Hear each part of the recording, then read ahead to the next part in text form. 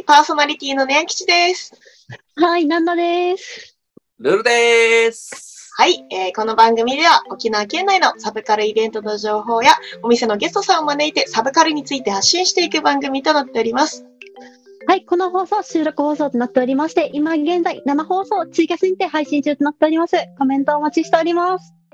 はい、えーこの番組の提供はオリジナルキューバサンドが大人気、えー、中、失礼しました。那覇市牧市 屋台村の裏通りにお店を構える音楽好きが集まるダイニングバー、バスドラムスの提供でお届けいたします。はい。ということで、何か告知やご報告がある方はいらっしゃいますか？大丈夫です。告知なし。なし？え、ちなみにルルさんは、マクロスイベントはいかがでございましたでしょうか？ちょう行どっ、てきましたね。はい、昨日、というか12日です昼の2ね時。からは、えー、先週放送で出ていただいた。トラチオさんのマクロスお、まあ、トラチオ学園から始まり、うんうん。夜はソネキューレのお、ワクチンライブ。お、一日通してね、ずっとマクロスの曲ばっか聴いてました。すごい。マクロス楽しかったにそうですね。で、みんな、みんな当たり前だけどうまかったですね。いや、それはね。うんえ、ちなみにで一番好きだったところとかありました？あ、やっぱね、全イベントを通してマクロスセブンの愛がみんな強かったね。個人的に。俺もマクロスセブンが一番好きだし。ああと、ちょっと、こう、えー拳を突き上げすぎたのでね、ダーツやりすぎたみたいな感じで、ちょっと筋肉痛になっております。あ、やりすぎじゃないですか、それ。そういう感じでございます。どうぞ、はい以上です。はい、ありがとうございます。ではですね、本日もね、皆さんも楽しみにしているかと思います。かわいいかわいいお二人に来ていただいております。本日の素敵なゲストさん、フェアリーマジックの愛花さん、ナオさんとなっております。よろしくお願いします。お願いします。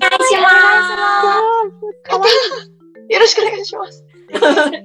お願いします。やったー、ありがとうございます。じゃあ、どうしよう、お二人のどちらか、えっと、フェアリーマジックさんということで、自己紹介をそれぞれお願いしてもよろしいでしょうか？はい。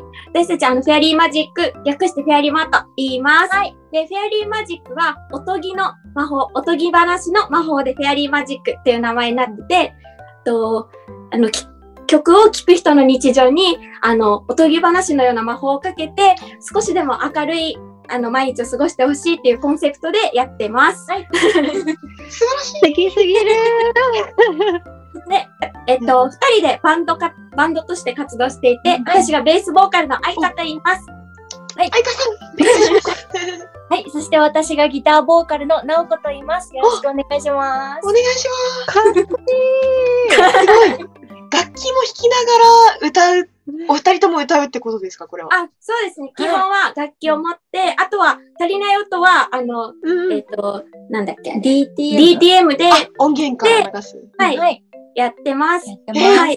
時々楽器置いたりもしますけど。えー、どう、どうするんですそれは歌だけで頑張る、やる。あとなんかあの、音源と、あの、歌でやる楽曲もあったり、あとは、えっと、二人で歌うのもあれば、うんえっと、一人ずつソロで歌うような歌もあって、結構いろいろ。えー、すごい。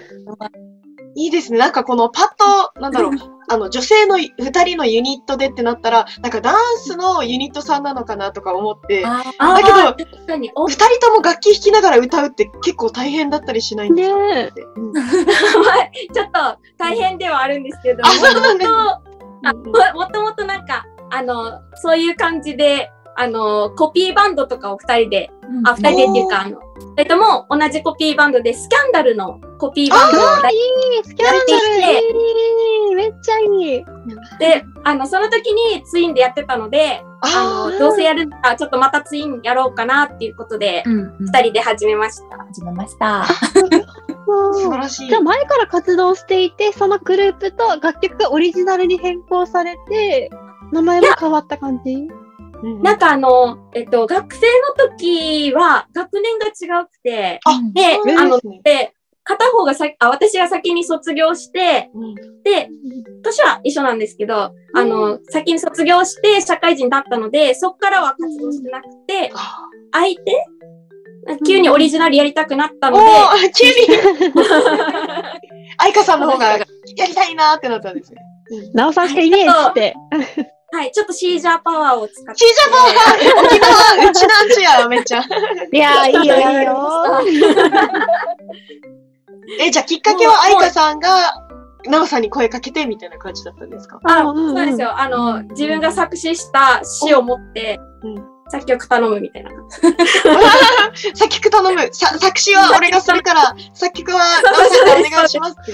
はい。え今も割とそのパターンでやってます。えー今はもうじゃあ完全オリジナルで二人とももう楽曲と使って、こう、楽器も演奏しながら、ボーカルもしながらっていう感じなんですかあ、そうですね。あの、基本はもうオリジナルだけで、はい。はい、活動してます。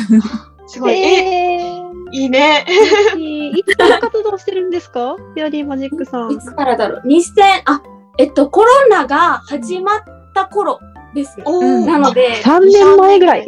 2年前、2、3年前ぐらい、そうですね。もう、あの、同級生ぐらいです、コロナと。これだと始まりっていう感じで。あ、もう、あの、始めようと思ったらコロナも一緒に始まった、同級あ生。それはなんかちょっとあ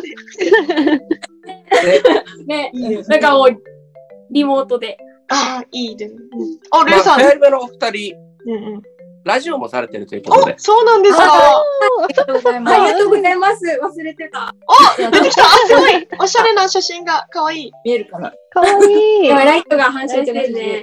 あの、毎週金曜日の夜10時から11時の1時間、あの、FM 那覇さんの方で、あの、おとぎのラジオっていうラジオをやってます。なんか、トークテーマとかは結構自由度が高くて、はい。うん今週あった出来事を、あの、自分たちの、なんかこう、興味あることでトピック、なんか、プッシュして、習慣的なものをやったり、あとは、あの、私たちが、その、習慣的なことじゃないけど、あの、先週とかだったかな？だったら、なんか、懐かしい卒業ソングって何でしょうみたいいい。な。トークテーあマー、いい。トークしたり歌。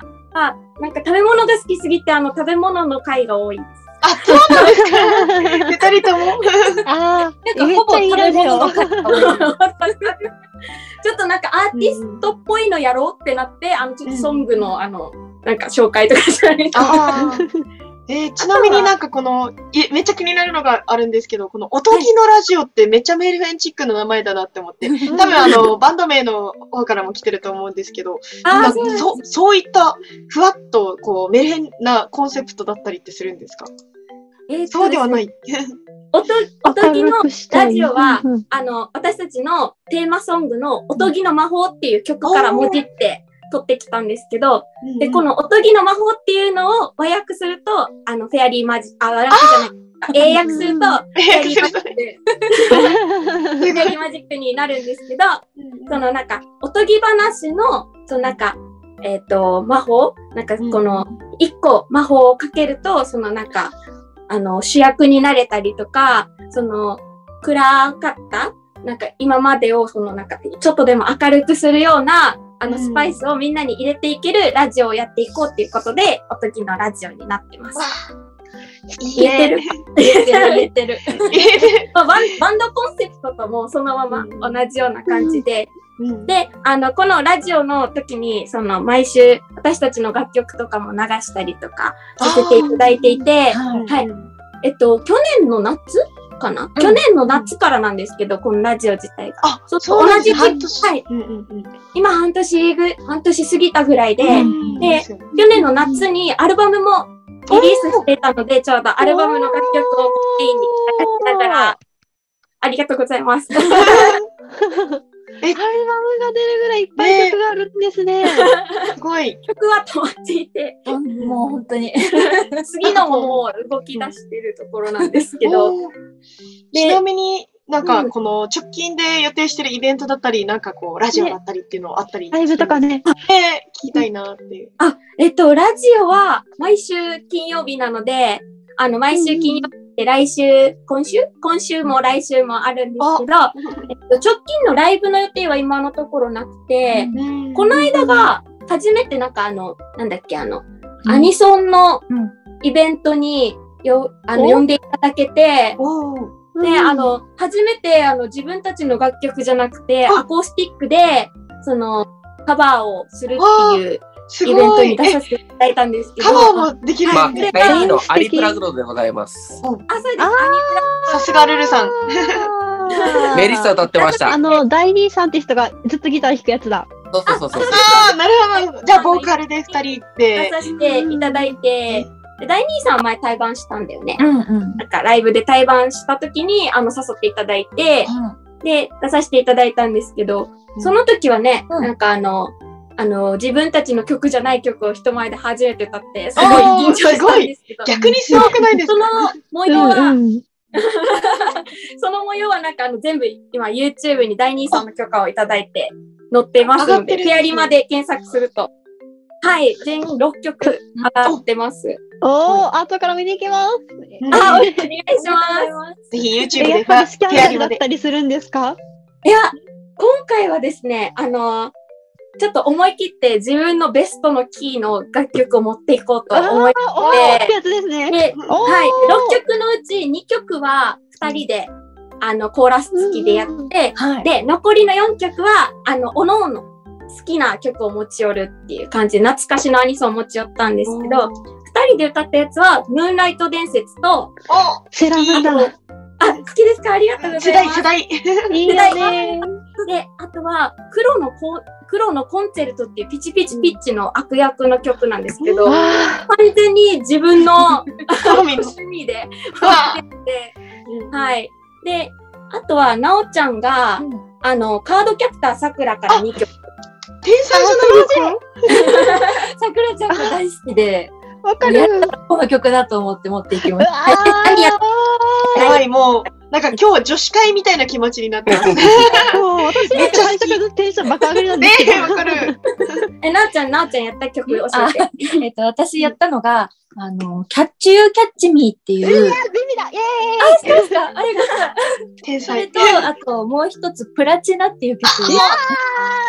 カードキャラクター的にはたまらんやつですね。やばいめっちゃ好き。やりました。男子のルルさんが、あの、どうですか？どうしました？すいません。楽しいところ。一旦 CM でございます。一回間。はいはい、戻ってまいりました。にゃんきちさんどうぞ。はい。では続いてのコーナー行きたいと思います。エピソードワンナイト人狼のコーナーです。イエーイやったー ありがとうございます。では、ルール説明をななちゃん、お願いいたします。はい、ここから人狼ゲーム、フェアリーマジックさんを含めてやっていきます。お題に沿って30分ずつプレゼンしていくんですけれども、一人だけ嘘つきが混ざっているんで、その嘘つきを探していってください。今週のお題は、女子会に持っていきたいおつまみです。イエーイイエーイやったー会長目、にゃんきちさん、よーい、スタート。はい。えっ、と、私が女子会に持ってきたおつまみ。これもう、あの、お家でやる女子会でイメージして、自分が得意な料理でイメージしたんですよ。えっと、きゅうりのしそチーズ巻きとなっております。ははいえっと、きゅうりをしそとチーズと、えっと、あと生ハム、ハム、ハムだね。で、巻いて、えっと、作ったらめちゃくちゃうまいので、えっと、これ私、いつも自分で作って持ってくんだけど、評判めっちゃいいんですよ。手軽に作れてめちゃうまいんで、おすすめです。以上でございます。いい、あーいい。続いて、なんなちゃん、よーい、スタート。私がおつまみに持っていきたいものはローストビーフです。わやっぱり、ちょっと肉をつまみながら食べるお酒って美味しいし、そうじゃ飲めない人にとってもお腹が満ちて何より美味しい。これがね、いいし、実はローストビーフって超簡単ってことで見栄えもするし、ベストなんではないでしょうか。美味しいですね。タレ作るの頑張ります。はい。あまり。あまり。結構時間ね。はい。では、続いて3番目。あいこさん、よーい、スタート。はい。私が、あの、用意したい、えっと、デザートおつまみは、あの、デザートチーズです。おーなんか、あの、私、あんまりお酒強くないので、なんか弱めのやつしか飲めないんですけど、ってなるとなんかちょっと甘いものとか多いので、それに合わせて、ちょっとスイーツ感覚で、なんかあの、男の人と集まってる時とは違う、こうなんかデザートを楽しみたいなっていうのがあって、デザートチーズ。あの、なんかこの8ピースとかで入ってる。レアチーズみたいなね、いちごとかね。丸だ丸だね。あれあ食べたい、最後。なおさん、はい。よーい、スタート。はい。えー、私が持っていきたい。えっと、サラミですね。あのあー、いい。あれは、もう私もお酒ちょっと弱くて、えー甘いお酒しか飲めないんですけど、やっぱり甘いものを飲んだらしょっぱいものが食べたくなるじゃないですか。うんで、サラミはそれを満たす最高の、最高に美味しい最強のおつまみです。ちょっとまだ、ちょっとまだ。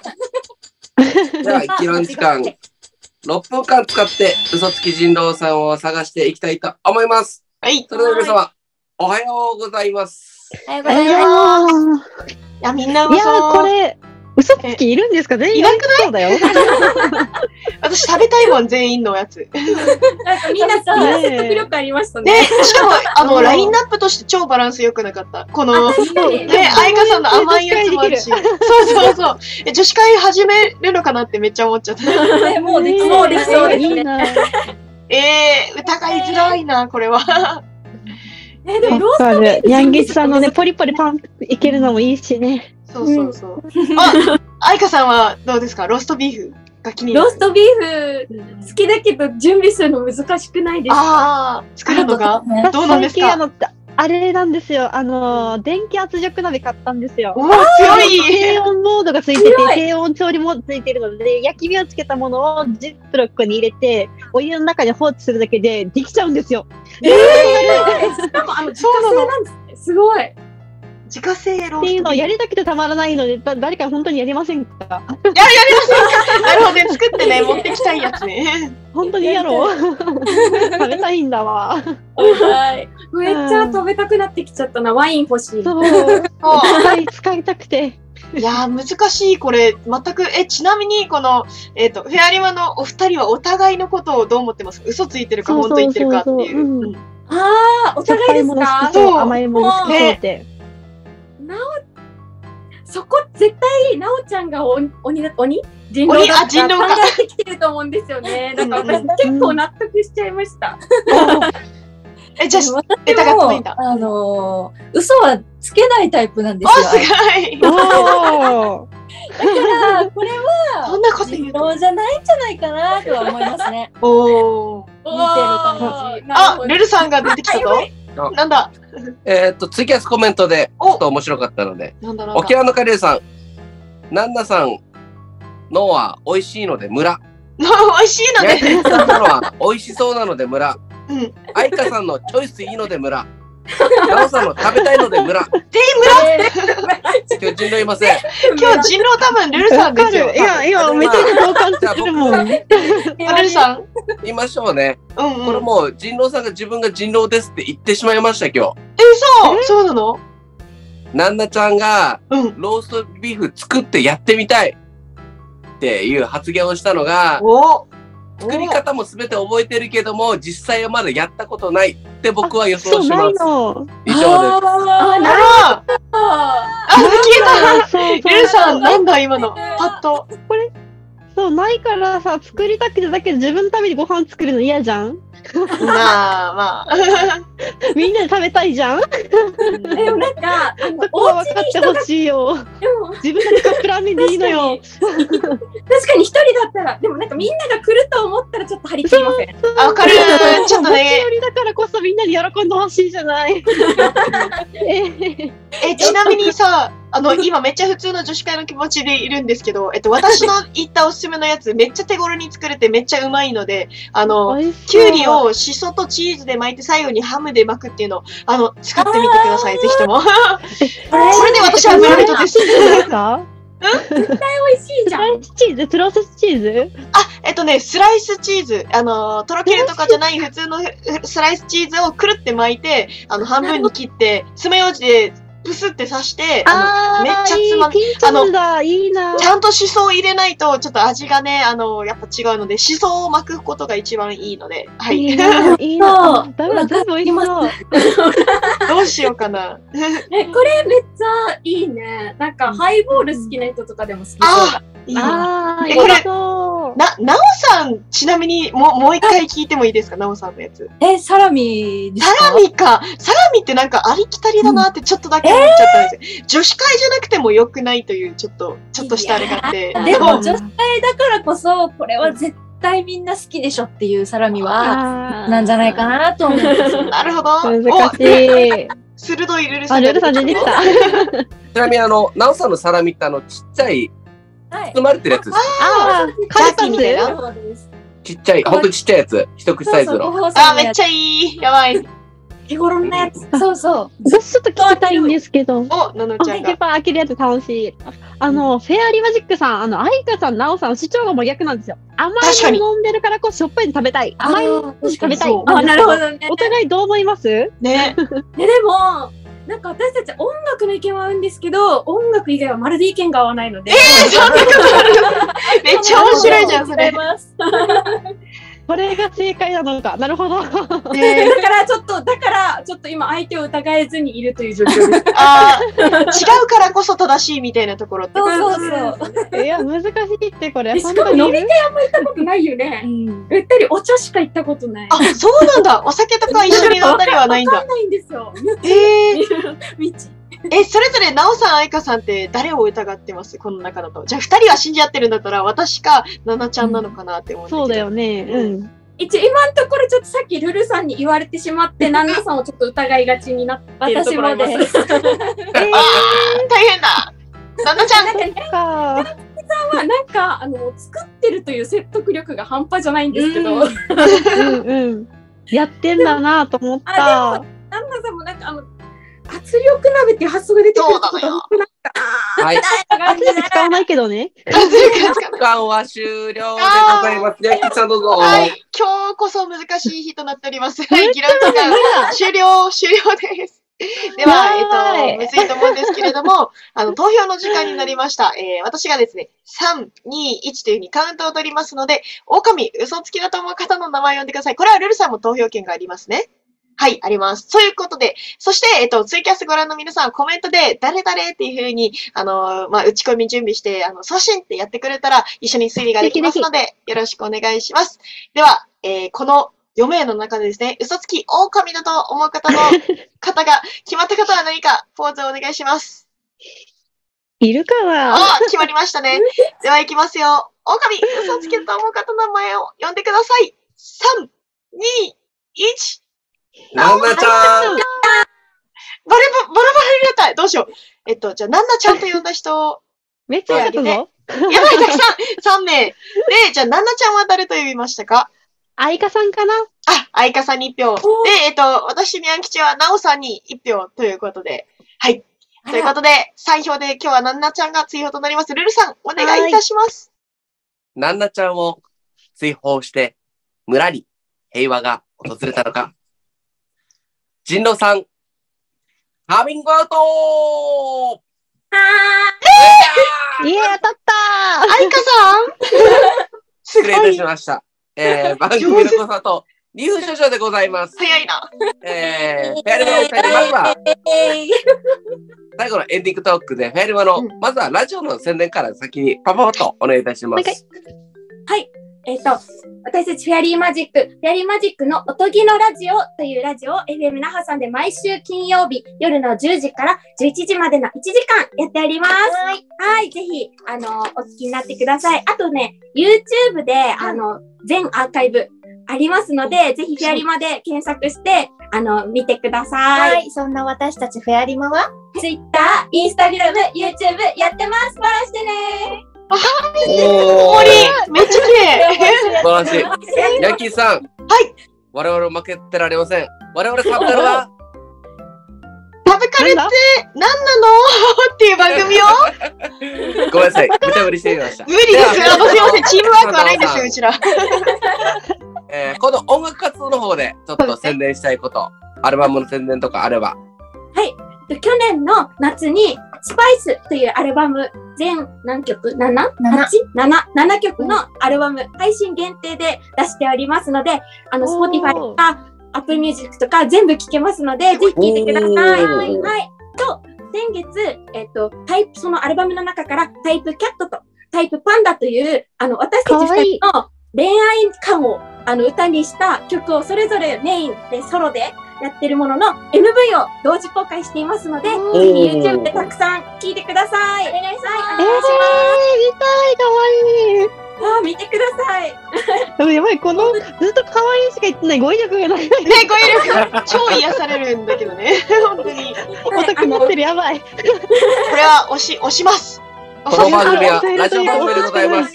ではまた来週ありがとうございました。可愛かった。